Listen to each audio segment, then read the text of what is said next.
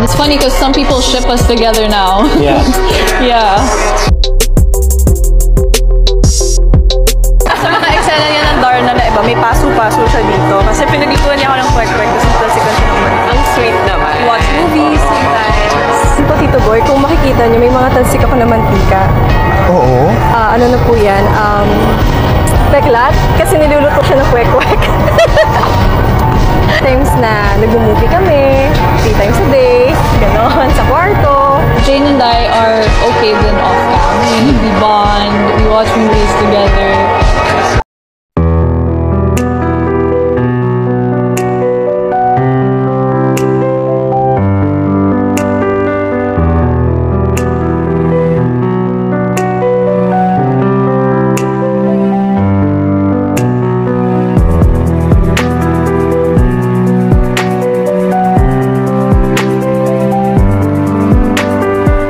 Chanela, grabe yung chemistry naming dalawa. Ang sinasabi nga ng director namin, baka kami pa din magkatuluyan sa.